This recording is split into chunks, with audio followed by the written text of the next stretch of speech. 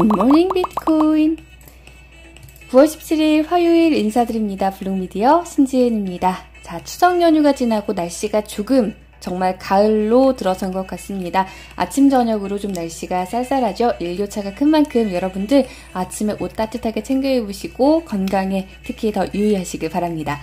자, 비트코인 현재 0.07% 소폭의 상승세 보이면서 시장을 이끌고 있습니다. 오늘은 상위권의 암호화폐들 어, 급등세 나오는 종목들도 있고 대부분 상승세 속에서 거래가 되고 있는데요. 특히 이더리움의 강세가 눈에 띕니다. 자, 일단 초록불로 채워져 있는 상위권 암호화폐들 분위기 보셨고요. 다만 알트코인들 중에는 조정받고 있는 알트코인들도 많다는 점 참고하시기 바랍니다. 바이낸스를 통해 확인해 본 비트코인 가격 현재 0.05% 상승이라는 강보합세를 유지하고 있는 상황인데요. 가격은 만 달러 초반 어제와 비슷하게 유지가 되고 있습니다. 최근 비트코인의 가격 정말 박스권을 그리면서 조금 지지부진한 움직임 보여주고 있는 가운데 오늘 장에서도 이 기조가 유지가 되고 있는 건데요. 장중 한때 만 78선까지 갔다가 다시 한번 일단은 이 가격 위로 올라선 상태입니다. 지금은 약간 상승세를 조금 탄력을 붙여가고 있는 상황이긴 하지만요. 0.02% 약보합과 강보합을 오가면서 거래가 되고 있습니다. 1290달러 유지하고 있다는 점 확인을 하셨고요. 코인 마켓캡을 통해 확인해 본 전체 암호화폐 시가총액 2,663억 달러로 형성되고 있고 비트코인 점유율은 가격이 강보합권에서 거래가 되고 있는 지금 상황에서도 69.4%로 유지가 되고 있습니다. 자, 오늘 장에서 이더리움의 강세가 눈에 띄죠. 주간 그래프를 확인해 보셔도 자, 꾸준한 완만한 상승세를 그리고 있다가 오늘 장에서 조금 더 상승세가 뚜렷하게 나타나고 있고요.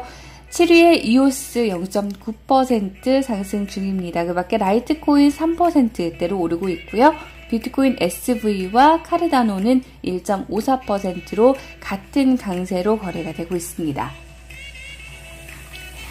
1위부터 10위까지의 암호화폐들은 대부분 강세 속에서 거래가 되고 있는 상황 아래로 내려가 보시면 자, 빨간불과 초록불을 번갈아 가면서 켜고 있는 상황인데요. 아래쪽에서는 조금 내리고 있는 코인들도 많이 눈에 띄고 있습니다.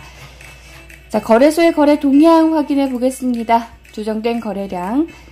어, BKX, L뱅크, 비트마트가 1, 2, 3위로 올라와 있는데요. L뱅크와 비트마트 24시간 동안 각각 55%, 120% 거래량 늘려주고 있습니다. 상위권 암호화폐 거래소들은 모두 대부분 거래량을 좀 늘려가고 있는 상황인데요. 우리나라의 업비트도 거래량 24시간 동안 58% 늘었습니다.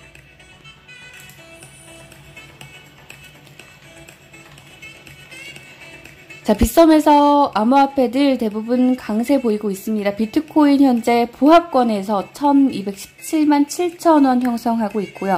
뒤를 잇고 있는 이더리움 4%, 비트코인 캐시 1%, 라이트코인 3% 등의 강세를 연출하고 있습니다.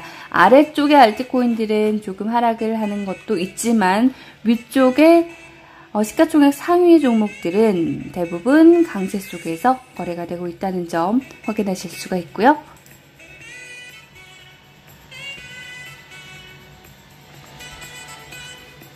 업비트에서도 분위기는 비슷합니다. 현재 비트코인의 가격 0.04% 소폭 내림세를 받으면서 1216만 5천 원 선 기록하고 있고요. 이 정도는 내림세라고 보기에도 좀 힘들죠. 약보합권에서 거래가 되고 있는 상황입니다. 자, 이더리움 4.5%, 비트코인 캐시 1.6%, 파워레저 4.3% 등의 강세 속에서 거래가 되고 있고, 역시 아래쪽으로 내려가 보시면, 자, 큰 상승세를 나타내고 있는 종목들 없고요. 대부분 조정을 받고 있는 모습입니다. 자, 오늘 장의 주요 이슈들 짧게 살펴보도록 하겠습니다. 사실 자, 비트코인의 가격이 주춤한 상황에서 큰 소식들은 나오지 않고 있는 모습인데요. 자, 국제경제 쪽에서 지금 이슈가 되고 있는 거 바로 사우디아라비아의 정유시설에 대한 드론 공격입니다. 세계 유가가 급증하는 상황이 찾아왔는데 안전자산으로서의 비트코인의 위상을 확인할 수 있는 계기가 될 수 있을 것이다 라는 크립토 글로브의 보도입니다.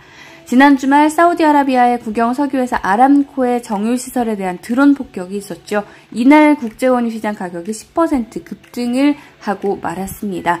중동 지역에서 발생한 갈등 상황에 따른 혼란기 투자자들은 비트코인이 가치를 안전하게 보관할 수 있는 자산 역할을 할 수 있는지 결정하게 될 것이라고 전했습니다. 최근 들어 안전자산으로서 비트코인에 대한 의견이 엇갈리고 있죠. 전반적으로는 비트코인이 금속이나 채권 같은 전통적인 위험 회피 자산으로 자리 잡고 있다는 의견이 우세합니다. 금융 자문 서비스 기업이죠. 디비어 그룹의 나이젤 그린은 이번 사건으로 인해서 안전자산으로서의 비트코인의 입지가 다시 확인이 됐고 가격이 15,000달러까지 상승할 수 있을 것이다 라고 주장하고 있습니다. 반면 어제 전해드렸듯이 최근 비트코인 상승의 촉매제는 무엇보다 미국 주식시장과 같은 거시적 전망의 호전이다. 비트코인은 양면성이 있는데 리스크가 있는 상황에서 실적이 좋지만 투자자들이 불안해할 경우 디지털 금처럼 취급하게 된다면서 주식시장의 상승이 필요하다라는 의견을 펀드스트랫 톰 리는 전하기도 했습니다. 자, 국제 정세가 이렇게 유가 급증으로 좀 어지러운 가운데 대만 스마트폰 제조업자 HTC의 소식이 있습니다. 비트코인닷컴과 제휴하고 비트코인 캐시의 지원 소식을 알린 상황인데요. 자, 많은 비트코인 지지자들이 이 발표에 격분하고 있다라는 기사죠.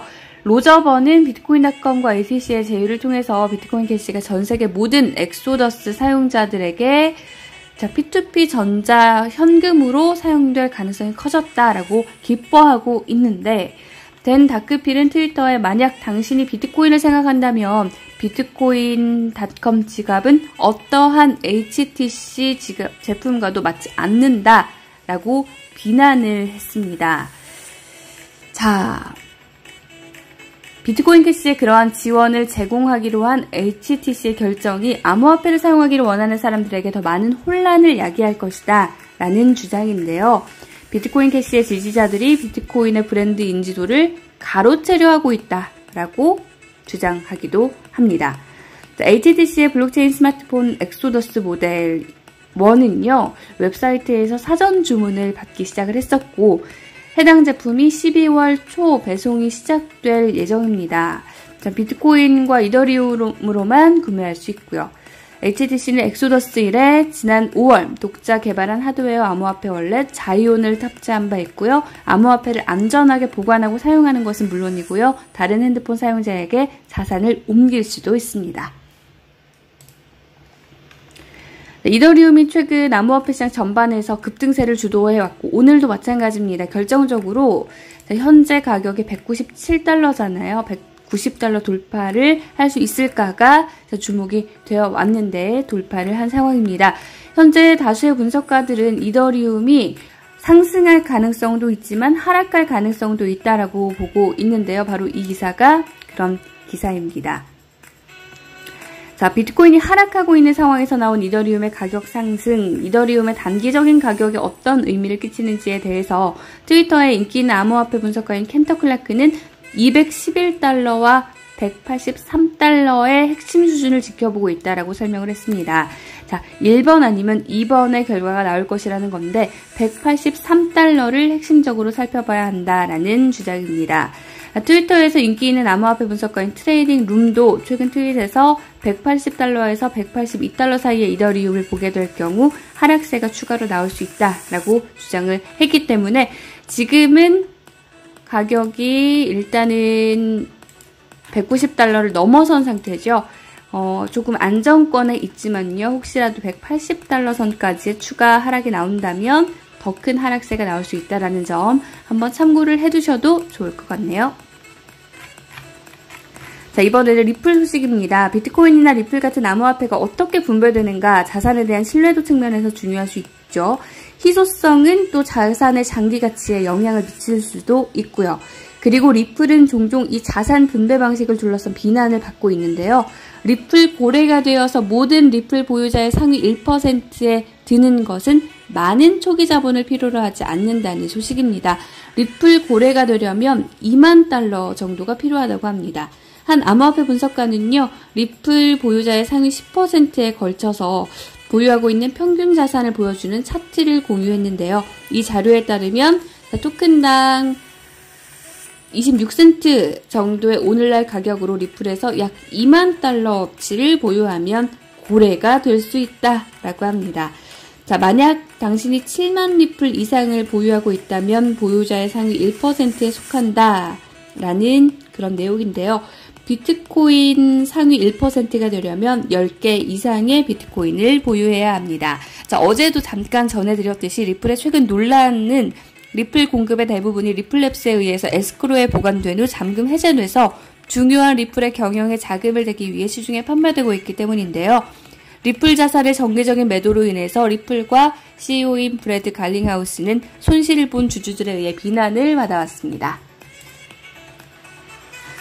OKEx 코리아가 모네로와 대시 등 5개 다크코인 거래를 중단했습니다. 한국지사 OKEx 코리아가 이런 5가지 다크코인의 거래를 중단한다라는 소식을 전해졌는데요. 자, FATF 자금 세탁 방지 기구가 올해 도입한 규제 권고안 준수를 위한 결정이다. 라고 합니다. 앞서서 업비트도요. 자, FATF 권고안에 따라서 다크코인을 유의 종목으로 지정한 바 있는데요. 자, 국제 자금 세탁 방지 기구의 권고안이 이제 업계에 조금 조금 더 퍼져 나가면서 어떤 규제를 스스로 만들어 나갈지 그리고 정부에서는 또 어떤 대책을 마련할지 기대가 되고요. 통상 업비트에서 유의 종목으로 지정된 암호화폐는 일주일간의 자체 검토를 통해 상장 폐지 여부가 결정된다고 합니다. 해당 프로젝트에게는 소명의 기회가 주어지고요. 사유가 완벽히 소명되지 않을 경우 거래가 종료된다고 합니다. 이번 유의 종목 지정은 업비트 상장 폐지 기준에 의한 것이 아니라 FATF 권고안과 관련된 것이라는 이야기도 덧붙여져 있네요. 자, 비트코인 선물 확인해 보겠습니다. 9월물 비트코인 선물 CME 거래소에서 2.22% 오른 1360선의 거래가 되고 있습니다. 현물 시장에서는 약보합권을 보이고 있지만 선물 시장에서는 강세를 보이고 있다는 점도 확인을 해 주시기 바랍니다. 자, 오늘장 주요 뉴스와 이슈들 그리고 시황들 살펴봤습니다. 저는 내일 이 시간 다시 인사드릴게요. 시청해주신 여러분 고맙습니다. 본 방송은 암호화폐 투자에 관한 정보를 드리기 위해 기획됐으며 특정 암호화폐의 상승과 하락을 보장하지 않습니다. 투자에 참고하시길 바랍니다.